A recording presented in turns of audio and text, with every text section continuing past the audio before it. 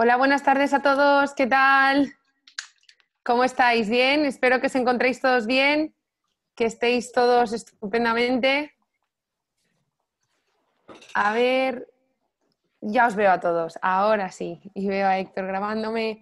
Vale, bueno, muy buenas tardes a todos. Bienvenidos a una sesión más de las charlas online de Shalok. Un viernes más por la tarde. Estamos encantados de volver a estar con vosotros y de veros a todos, que ya sois asiduos, ¿eh? bueno, chicos, pues nada, hoy tenemos con nosotros a César Pérez. Eh, ¿Está por aquí César? Alex, ¿me puedes averiguar si está César, porfa? Eh, creo que debería estar, he hablado con Bea y creo que debería estar por aquí. No. Aquí estoy. Muy bien, hola César, bienvenido. Muchísimas gracias por estar Hola, ¿qué hay? Buenas. Vale, va- vamos a presentarte primero, César, si te parece, y luego ya son todos tuyos y tuyas. Perfecto, muy bien. César Pérez, biólogo especializado en zoología, director de Mediterráneo de la Asociación de nuestros amigos Kelonia. Eh, lleva durante más de 20 años trabajando en experiencia en el mundo de zoológicos y acuarios y actualmente como director de Mediterráneo de la Asociación Kelonia trabaja coordinando diferentes proyectos medioambientales, acciones de conservación e investigación de este área y en especial es un amante de las serpientes. Me consta. César, eh, es. antes de empezar, me gustaría avisaros a todos que las cámaras, por favor, van a estar encendidas, os vamos a grabar, se va a colgar en YouTube. Si alguno de vosotros no quiere aparecer, tenéis que desconectar las cámaras abajo a la izquierda en parar vídeo. Eh, los micrófonos, por favor, si están desactivados, mejor para no interrumpir al ponente en ningún momento. Y luego, en breves minutos, os llegará al mismo correo electrónico un link con la sesión de eh, la nueva charla para las preguntas y respuestas que tendrá lugar inmediatamente al finalizar esta. Si tenéis alguna pregunta para realizarle a César, nos la dejáis por el chat, Alex las recogerá todas y luego se la trasladamos. Muchísimas gracias a todos y adelante César, bienvenido. Muy bien. Bueno, pues eh, lo primero, agradeceros esta invitación, agradeceros, bueno, Salok, somos casi hermanos, como decís vosotros, hermanos de Sal. Hemos trabajado mucho juntos y eso, daros las gracias a los asistentes por, por ver si sois capaces de aguantar el rollo que os voy a soltar sobre serpientes. Y nada, ya Salok por invitarme. Mm, El tema va a ser un poco de generalidades. Cuando me dijeron que hablaba de serpientes, soy un apasionado de estos animales y como son 40 minutos, que no sé si me dará tiempo a contar todo, no sé, espero a, ajustarme a ese tiempo, pues eh, dije, ¿cómo, ¿cómo podemos hacerlo? Pues vamos a hablar un poco de generalidades, cosas curiosas y cosas que al final hicieron que yo me enamorara realmente de este grupo de animales, por muy raro que sea, por muy raro que alguien esté pirrado por las serpientes, ¿no? Así que vamos a empezar con la presentación, si os parece.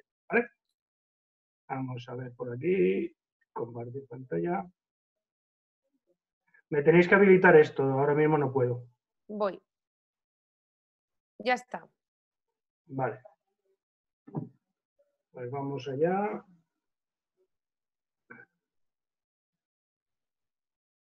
A ver que esto va un poquito lento ahora. Y ahora se me ha saltado donde me debe. Ahí abajo. Aquí y aquí. Vale. Creo que ya lo tenemos todos. Sí, ya Sí, está, ¿no? César, ya lo vemos. Sí, ya lo Bueno. vemos, perfecto. Pues aquí tenéis el título de la charla y ya os lo he comentado antes. Vamos a empezar con ella para intentar ajustarnos al tiempo, ¿no? A ver, lo primero hablamos un poco de la situación taxonómica. Esto para centrarnos un poco en lo que es el grupo de las serpientes. Aunque aquí hablamos de clase de reptilias, la clasificación esta original o clásica, como si dijéramos, metía a las aves en la clase aves, pero eso lo comentaremos ahora al final. Dentro de la clase reptilia hay tres subclases, los anápsidos, que dan origen a las tortugas, lepidosauria, que son los que dan origen a los tuataras, los rincocéfalos, los escamosos, escuamata, que es donde se engloban las serpientes de las que vamos a hablar, pero también se engloban los lagartos y se engloban los anfisbénidos, como nuestra culebrilla ciega.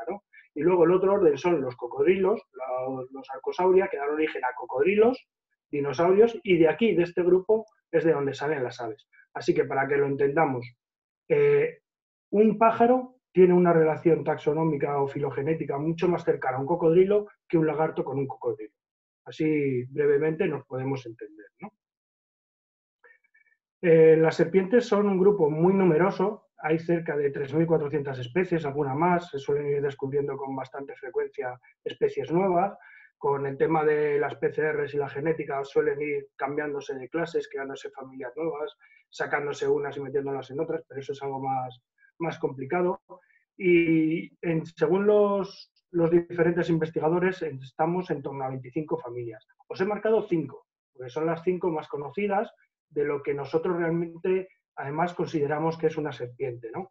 Que serían la familia Boidae y la familia Pitonidae, que son las grandes serpientes constrictoras que todos conocemos por documentales, por películas y por, demás historias, la familia Colubridae, que serían los las, culebras típicas, normalmente no son venenosas, eh, luego veremos el caso de, serpientes opistoglifas, la familia Lapidae, que es aquí donde estarían metidas las cobras y las mambas, y la familia Viperidae, que es aquí donde están las víboras y los crótalos, la serpiente cascabel. El resto son familias más pequeñitas que tienen menos número de especies, pero estas, estas familias son las que tienen también un mayor número de especies. En cuanto a la distribución, como los serpientes son animales reptiles y son ectotérmicos, la distribución es por las zonas más o menos cálidas, ¿no? Pero vamos a ver este mapa, ¿no? Se distribuyen por las zonas tropicales y subtropicales. Pero vemos aquí en el mapa que llegan hasta Escandinavia. Y si hablamos de distribución eh, a nivel de altitud, hay serpientes hasta los 4.600 metros en el Himalaya. Ahí las temperaturas no son, no son realmente cálidas.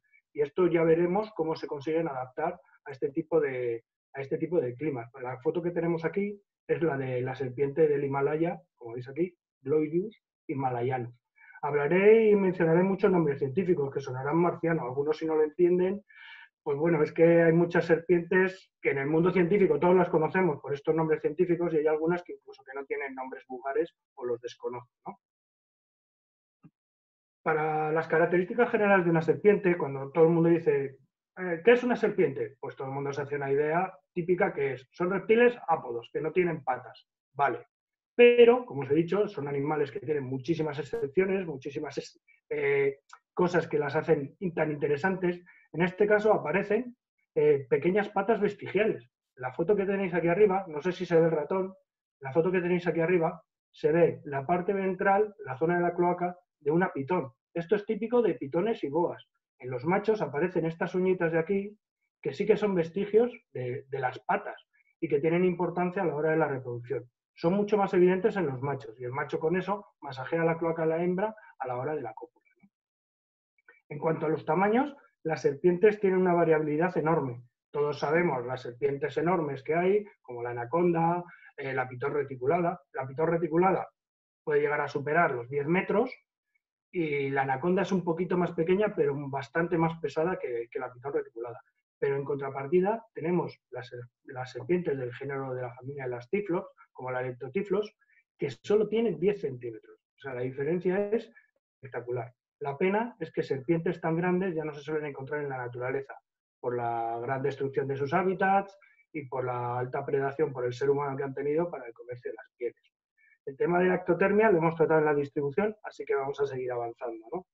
Todos piensan que las serpientes además son solitarias, van por ahí de manera individual, pero nos llegamos a encontrar grandes agrupaciones. Aquí abajo tenéis una agrupación de lo que llaman la culebra jarretera, la Stadnophis, eh, estas agrupaciones, en estos casos, como en el caso de las víboras, se suelen producir en, las épocas de reproducción o antes, o antes de la hibernación, a hibernar todas juntas en grandes madrigueras o grandes cuevas para, estar más protegidas.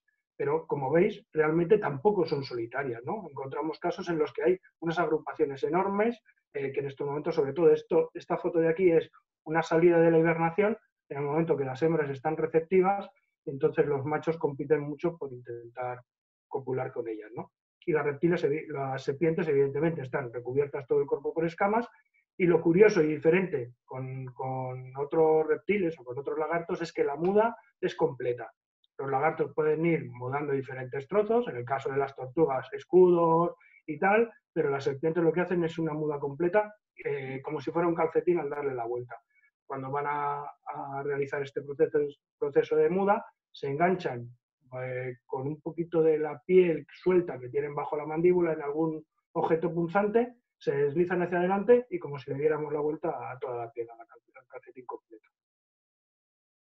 También tenemos otro dicho que es que las serpientes no hay dimorfismo sexual, es decir, son iguales los machos de las hembras, pero también hay excepciones. Lo hemos visto antes, ¿no? En el caso de las pitones, que los machos tienen esos vestigios eh, en la cloaca de esas pequeñas patas, hay machos que tienen la cola más larga que las hembras, y aquí os he puesto un caso extremo de una serpiente liana típica de Madagascar.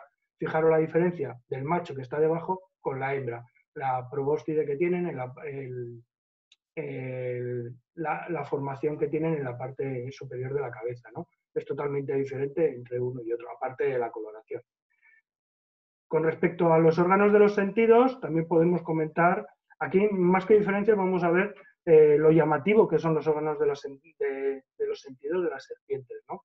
Tienen una visión excelente, esto les permite ser unos cazadores eh, buenísimos, con un, con un acierto increíble la gente comenta que las serpientes son sordas y no es que sean sordas, sino que, su sistema auditivo, sus órganos auditivos son internos. Sí que detectan las frecuencias del sonido, pero detectan por el movimiento. ¿no? Normalmente estos, estas frecuencias las detectan con la mandíbula inferior al estar apoyada sobre el terreno. Así que la de sordas, eh, tal y como nosotros entendemos la audición, se podría decir que sí, pero ellos sí que detectan los sonidos. Eh, y los órganos más llamativos serían el órgano Jacobson, que es el diagrama que tenemos puesto arriba a la derecha, y es con lo que estas serpientes realmente huelen, es como su sistema olfativo. Las serpientes sabemos que tienen la lengua bifurcada, dividida en dos, y la sacan continuamente. Con esto lo que hacen es analizar el, medio ambiente, analizan el, ambiente el que las rodea. Con eso recogen las partículas que hay en el aire, la devuelven a la boca y meten esta lengua en, como vemos aquí, en la parte de aquí arriba, en unos orificios que tienen en el paladar y eh, ahí es donde está el órgano Jacobson, que como veis conecta directamente con el cerebro. Esas partículas las analizan y de esa manera tienen toda la información, como si dijéramos, la información olfativa. Y luego los otros, el otro órgano bastante llamativo son las fosetas térmicas. Aquí, en la que tenemos marrón, esto sería un terciopelo en Costa Rica, tenemos delante la narina y detrás un pequeño orificio. Eso sería la foseta térmica. Y en el caso de esta, esto es una coralus, creo, lo que tenemos aquí es eh, las fosetas térmicas eh, que tienen en este caso muchos más orificios. Estos son un órgano que lo que detecta es el calor de las presas. ¿no? Esto les sirve también mucho para cazar. Lo que sí está claro es que las serpientes no emiten vocalizaciones, pero sí que emiten ruidos. ¿no? Tenemos el tipo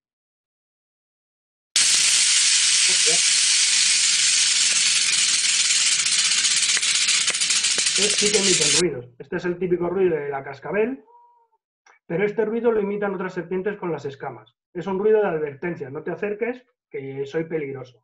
Entonces lo que hacen otras serpientes es imitar este ruido frotando las escamas. Las tienen aquilladas, flotan y hacen un ruido parecido. Incluso otras serpientes, expulsando aire por, de los pulmones, pueden emitir un pequeño sonido, pero vocalizaciones no, no producen. En cuanto a la movilidad, también muchísimas variedades. Todo el mundo piensa que las serpientes son animales, reptiles que van arrastrando todo el tiempo la barriga por el suelo. Tenemos pues, la, típica, el típico desplazamiento que es la ondulación lateral. Aquí además tenemos unas fotos de, nuestro técnico de rastreo científico de una natris maura.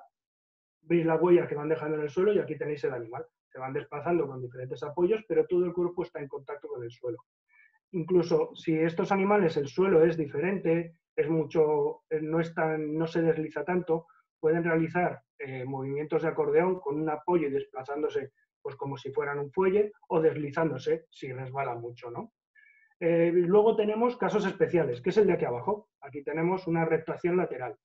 Esto, aquí la serpiente no está así con todo el cuerpo en contacto con el suelo tiene varios puntos, se va desplazando de manera lateral, pero nunca tiene todo el cuerpo en contacto con el suelo. Es típico de sitios donde los sustratos son muy calientes. Esto es un desierto y entonces lo que, hace es evitar que el animal se quede, porque ese punto se va desplazando y no tiene todo ese punto siempre tan caliente. Y luego tenemos todavía más casos extremos. Serpientes cavadoras, que eso la gente no, no, no lo conoce casi, y aquí tenemos el género Erix, Fijaros el diseño que tiene la cabeza a forma de pala, en forma de pala. Con eso el animal en la tierra va haciendo fuerza y va haciendo su propia galería donde, donde, donde vive. ¿no? Es un animal que, vive bajo tierra. La natación y buceo con el caso extremo de las serpientes marinas, que por ejemplo os he puesto aquí las fotos de, una muy conocida, que es la Laticauda colubrina, que la veis aquí, la adaptación, en la parte de la derecha, veis la adaptación que tiene la cola totalmente aplanada para usarla para nada. Luego tenemos serpientes arborícolas y el caso extremo es, es la serpiente de género Chrysolepea que puede volar. No es que pueda volar, es que realmente realiza saltos. Fijaros, en el vídeo, este animal lo que hace es, se tira desde una rama a otra, pero realiza un vuelo realmente porque eh, se desplaza muchísimo, muchísima distancia. Se ha estudiado y lo que se ha visto es que es capaz de separar sus costillas y hacer una especie de paracaídas para que el planeo sea mucho mayor. Y fijaros en el vídeo se ve ahora perfectamente cómo Ahueca las, las separa, las ahueca y de esa manera puede ir planeando hasta la zona que, ella considera. Bueno, después del tema del desplazamiento vamos a empezar con el tema de la alimentación. Todo el mundo tiene claro que las serpientes no mastican, que se tragan las presas enteras, y lo normal y todo el mundo y lo que se suele pensar es que se alimentan principalmente de mamíferos, de pequeños, de pequeños roedores, pero eso también depende del tamaño. En la foto tenemos una foto nuestra de la época en, Colombia, en la que tenemos una anaconda comiéndose un cocodrilo. Los carnívoros normalmente se alimentan de mamíferos, de peces, de aves o de otros reptiles. Muchas serpientes les da igual, cualquier presa les vale, pero hay otras que son muy especialistas. Por ejemplo, en el caso de las cobras, la cobra real sobre todo, es casi eh, solo ofiófaga, es decir, que se alimenta de otras especies de serpientes. Pero todavía hay dietas mucho más especializadas. Hay serpientes insectívoras. La Ophiodris aestivus, la que tenemos arriba a la derecha, esa es insectívora totalmente. Come insectos y diferentes tipos de insectos. Le encantan sobre todo los gusanos, pero también come grillos, saltamontes, los insectos, los insectos que se vaya encontrando. Pero tenemos también exclusivamente comedoras de caracoles, o comedoras de, escolopendras. Vamos a poner un vídeo. Es la que te come exclusivamente escolopendras, es la que tenemos a la derecha del todo, esta que tiene unos colores tan llamativos. Y aquí lo que tenemos es la comedora de, caracoles. La llaman comedora, pero realmente vais a ver que el nombre correcto sería chupacaracoles. Ahora vamos a ver por qué. Ha cogido el caracol. Lo voy a dar un poquito para adelante. Va haciendo movimientos con la mandíbula y con los dientes, va llevándose el, animal hacia, hacia el interior. A ver. Fijaros cómo el animal al final lo que está dejando es la cáscara del caracol ahí. A ver si lo ponemos aquí. ¿Veis? Se ha comido el caracol pero lo aprovecha todo. Se está bebiendo también las babas. Por eso realmente el nombre correcto sería chupacaracoles, ¿no? Y luego otras que son algo más conocidas son las serpientes comedoras de huevos. Vamos a ir haciendo que vaya el vídeo. En este caso podemos hablar del género Lectodeira, que es el que tenemos aquí abajo, que no es exclusivamente comedora de, de, huevos. Lo he puesto porque también se comen los huevos de anfibios, pero es que su dieta principal son los anfibios es una serpiente arborícola y se alimenta sobre todo de, ranas que encuentra, pero no, descarta comerse sus puestas. ¿no? Y fijaros en el, caso de arriba, es una serpiente comedora de huevos, está ingiriéndolo, va rotando, en el momento que lo puede sujetar empieza a tragárselo y así podéis ver en este vídeo lo que pueden hacer realmente con las mandíbulas, cómo las pueden separar y cómo pueden hacer esos eh, abrir tanto la boca para tragarse esas presas tan grandes. Realmente cuando lo ves al principio piensas que el animal no, se puede tragar eso. Vamos a darle para adelante, se lo ha tragado y ahora lo empieza a desplazar hacia la parte de atrás con movimientos de los huesos eh, de las costillas. Y a ver si no me lo paso para que no dé tiempo. Aquí. Ahora lo va desplazando hacia atrás y ahora empieza a hacer movimientos con, la musculatura de las costillas y lo que está buscando es romper la cáscara. ¿Veis? Ahí ya ha roto la cáscara. Y esto que va a hacer ahora lo pueden hacer o no. Hay serpientes comedoras de huevos que se tragan eh, todo el huevo, lo rompen y sí que digieren todo, pero pueden llegar a, a regurgitar la cáscara y lo que aprovechan simplemente es la yema. Aquí está tirando la cáscara totalmente limpia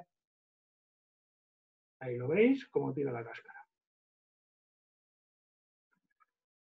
Como veis, eh, hablamos de una cosa y siempre hay alguna serpiente que, es diferente, que, se sale de la norma. ¿no? Eh, en cuanto a la dentición, es como realmente casi se, conocen o se, diferencian o se clasifican a las serpientes. ¿no? En cuanto a dentición, hay cuatro tipos. Las serpientes aglifas, este es el cráneo de una serpiente aglifa, en el cual los dientes son sin ningún canal, no tienen ni canal exterior, ni un canal interior, ni nada son unas serpientes que normalmente no, son venenosas y como veis las serpientes en todos los casos tienen los colmillos hacia atrás para retener las presas.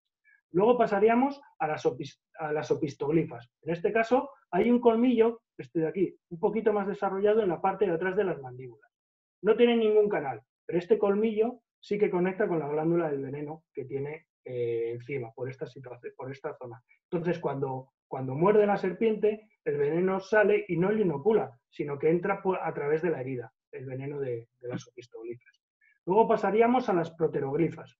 Opistoglifas en España tenemos eh, una o dos, dos. Tenemos la culebra de cogulla y la culebra bastarda. Así. Y luego, proteroglifas eh, son las cobras. Fijaros, lo que tienen es los dientes anteriores, estos de aquí que son más grandes, estos sí que ya tienen un canal interior, totalmente cerrado, como si fuera una aguja hipodérmica.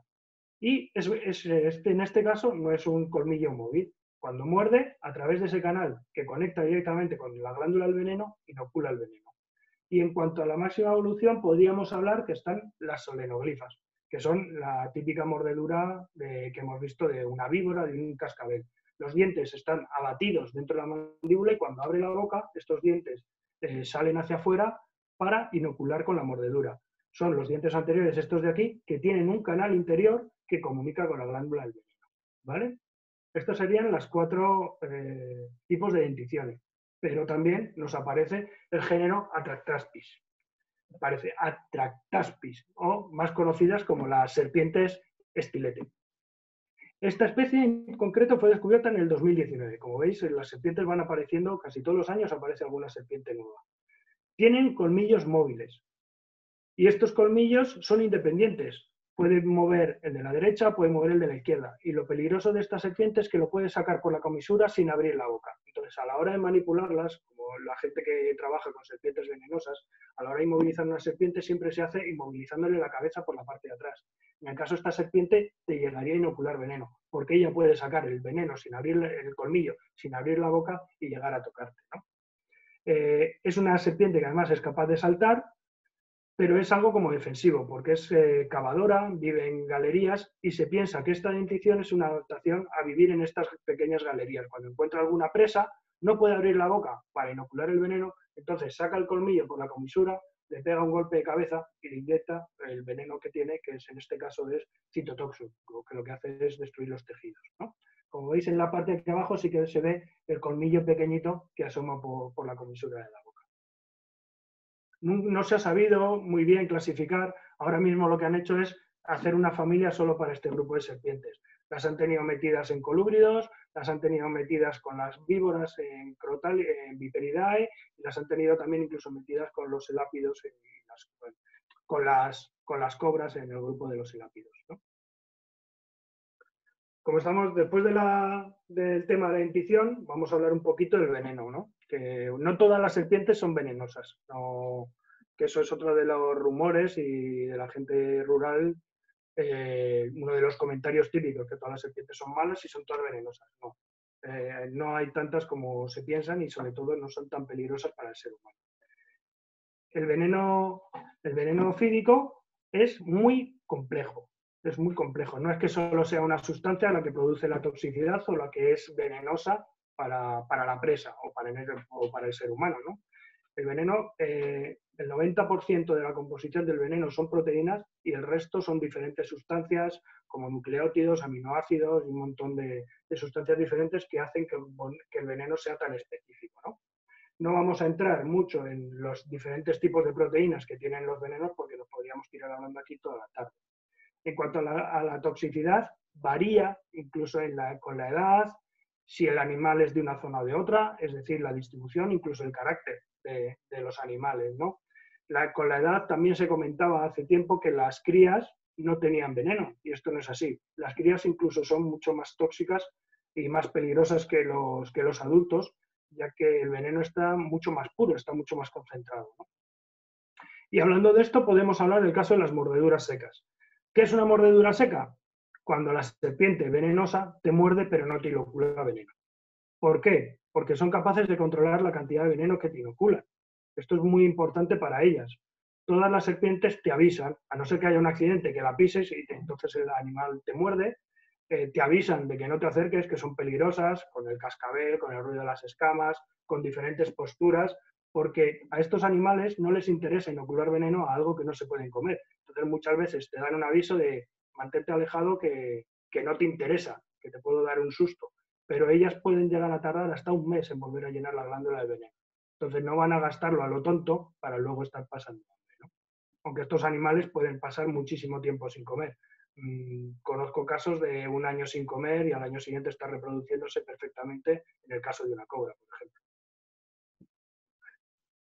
En cuanto a lo que son tipos de venenos, ya hemos hablado de, un poco la complejidad que tienen, los tenemos de varias acciones. Los hay neurotóxicos, que son los que, los que afectan al sistema nervioso, al cerebro. Normalmente eh, estas toxinas lo que hacen es afectar al impulso nervioso, lo bloquean de manera que no tienes esa reacción nerviosa. ¿no? Los hay miotóxicos, que lo que producen es una destrucción del tejido muscular. Citotóxicos, que aquí esto es, afectan al corazón o a la sangre, eh, evitando la contracción del corazón o destruyendo glóbulos rojos, evitando también la propia coagulación. Entonces son, son eh, venenos muy complejos. Incluso los hay proteolíticos que lo que hacen es destruir proteínas. Y no es que una serpiente tenga un veneno neurotóxico, sino que tienen una toxina neurotóxica, sino que en su veneno tienen diferentes toxinas con diferentes efectos y eso es lo que las hace que sean, que sean tan peligrosas algunas mordeduras. ¿no? Lo que casi todas las serpientes tienen es hialuronidasa. Está puesto aquí arriba. Es una enzima que lo que hace es disgregar el tejido conjuntivo y esto hace que el veneno se expanda mucho más fácil. Por eso muchas veces el tema de los protocolos que había antiguamente, de cortarse, de morder y todo eso, ya ahora mismo no se utilizan porque son sobre todo contraproducentes. Si te están necrosando la zona y el veneno se está disgregando a través del cuerpo, que ya lo tienes facilitando esa, dispersión, por mucho que tú aspires, no vas a conseguir eh, extraer un veneno suficiente. Y ahora vamos a ver unos vídeos para que veáis parece que no le toca, pero es un pie de mentira. Es un pie de mentira para ver cómo mordería una cobra, que es el caso que os, hemos, he puesto ahora, y se pone a cámara lenta porque muchas veces la gente no se da cuenta ni siquiera que le ha mordido una serpiente, ¿no? Y en el caso de... A ver, que he perdido el ratón, aquí está.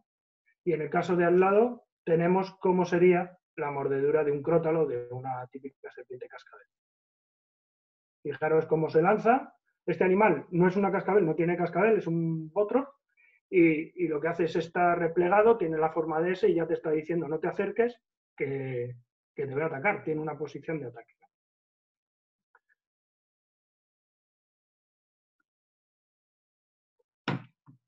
En cuanto a la reproducción, eh, las serpientes tenemos claro que son de sexos separados, es decir, por un lado tenemos los machos y por otro lado, están las hembras, ¿no? Pero aquí también volvemos a encontrar excepciones. Hay casos de pseudohermafroditismo en un crotálido del género Botrops y también hay casos de partenogénesis que comentaremos un poquito más adelante. En este caso, los Botrops es como en caso de alguna necesidad poblacional, de que haya alguna carencia en machos o hembras, alguna, algún animal puede eh, fortalecer ese sex ratio. También en cuanto a la reproducción es muy importante el letargo. Pongo el letargo y no pongo hibernación, porque como hemos visto la distribución de las serpientes, hay serpientes que viven en climas muy fríos, entonces lo que hacen esos, en esa temporada en la que sería inviable eh, su supervivencia, entran en un periodo de hibernación. Pero también hay serpientes que viven en climas muy cálidos, en el que la temperatura tan alta haría imposible su supervivencia y realizan un periodo de estivación. Y en este periodo estos animales lo que hacen es madurar las, madurar las gónadas reproductivas. Y o sea, sin estos periodos, estos animales no podrían reproducirse. También son especies monógamas. Vale, sí, pero también tenemos excepciones. Aquí tenemos el caso de, algunas cobras que sí que se ha visto que mantienen unos vínculos de pareja, que están varios años, eh, aunque se separen, luego en la época reproductiva se vuelven a juntar las mismas parejas para volver a, copular y tener descendencia entre ellas, ¿no? Eh, seguimos. Sí. César, diez minutos, bueno, nueve, para ser exactos. Pues cuando tengas que cortar, cortamos y luego continúo. Porque vale, cuando quede menos de un minuto te aviso para no que no se nos apague de repente y continuamos en la siguiente sesión. Vale, perfecto. Seguimos con la reproducción. Seguimos. Hablamos de estrategias espermáticas, son eh, pues diferentes estrategias para confirmar los machos que son ellos los padres de las futuras crías, de la futura descendencia. Entonces hay algunos machos que lo que hacen es permanecer con la hembra eh, realizando repetidas cópulas sin dejar que otros machos copulen con esta hembra, de manera que así se aseguran que la descendencia es suya. Y otro caso un poquito más extremo son los que llevan a caso el género Nerodia, el género Tadnopis, bueno, diferentes géneros que lo que hacen estos machos es que tras la eyaculación producen una, una, sustancia, secretan una sustancia que tapona la cloaca de las hembras, una especie de cementillo, y evita que otros machos puedan copular con ellas hasta que esa sustancia se caiga. Y suele tener dos, tres, esa duración, ¿no? Con el tiempo se cae y ya no tiene ningún problema. A ver, también hablamos del cortejo, vamos a ir poniendo un vídeo. El cortejo normalmente es, es, a través de estímulos químicos, ¿no? Así es como se van encontrando las parejas, por eso tienen el órgano de Jacobson, pero existen estas danzas. Esto es lo que hacía muchas veces que la gente pensaba que las serpientes eh, siempre estaban en parejas porque veían a veces esto, ¿no? Pero no, esto es un cortejo típico de, unas serpientes, ¿no? En el caso de los cortejos de colúbridos son mucho más agresivos que en el caso de, de los cortejos con crótalos, con víboras. Estas serpientes son venenosas y tienen más cuidado de no morderse unas a otras porque eso que comentaban de que las serpientes eran inmunes a su propio veneno no es así. Entonces, son más agresivos las serpientes que, que no se pueden producir tanto daño que lo más curioso para mí de, la reproducción de las serpientes es la anfigonia retardada. Esto yo creo que lo podemos dejar para... Bueno, vamos, a, vamos con ello. Sí, tiempo. Eh, es la capacidad que tienen eh, las hembras de serpientes de almacenar en el, esperma en su interior durante un tiempo, eh, se ha estudiado que incluso más de cinco años, y mantenerlo viable lo pueden hacer en, unos pliegues del oviducto, pero lo más normal es que lo que tengan es un receptáculo que se llama espermateca, el receptáculo seminal. Esto es un éxito enorme para ellas, ¿no? Porque permite retrasar el desarrollo embrionario, es decir, cuando las condiciones eh, ambientales sean buenas, cuando los recursos sean los suficientes para yo sacar adelante la descendencia, fecundo los huevos sin necesidad del macho, ¿no? Entonces, esto es un éxito ecológico enorme, enorme.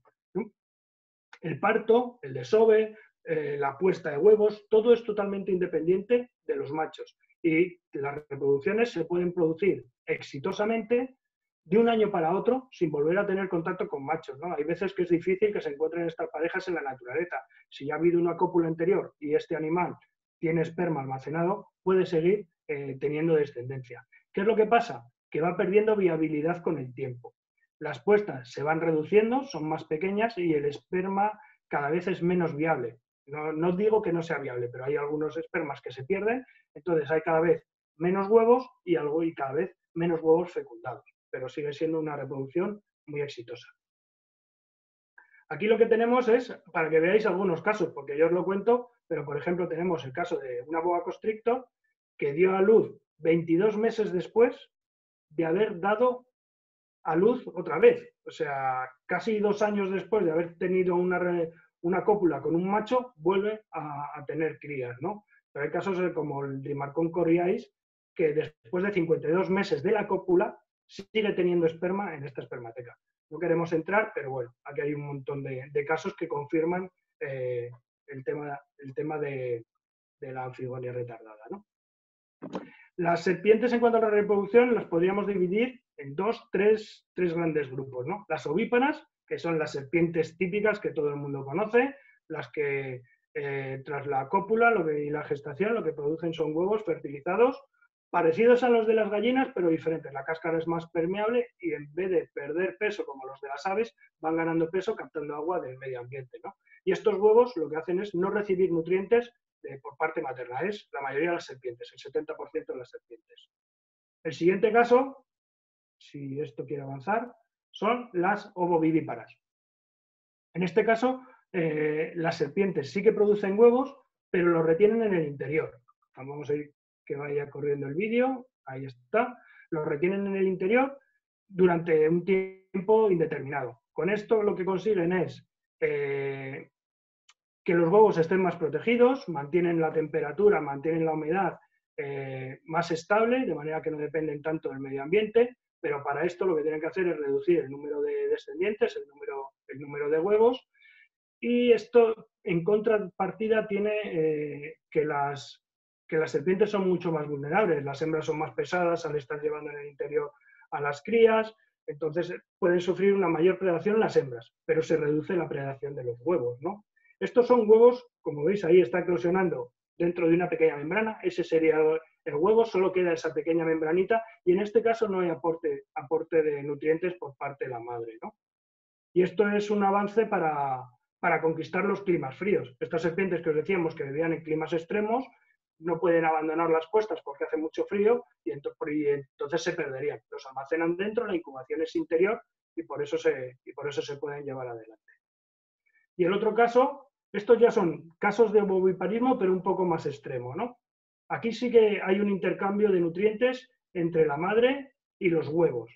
Puede ser porque las cáscaras de los huevos son, son muy finitas y hay un pequeño intercambio metabólico entre ellas, o ya en el caso de algunas Thamnophis, y se piensa que en el caso de las serpientes marinas, sí que se desarrolla un órgano eh, parecido a una placenta, no es una placenta evidentemente porque eso aparece con los mamíferos, pero que sí que eh, permite que haya una comunicación directa y una alimentación y un aporte de nutrientes por parte de la madre a, estos huevos.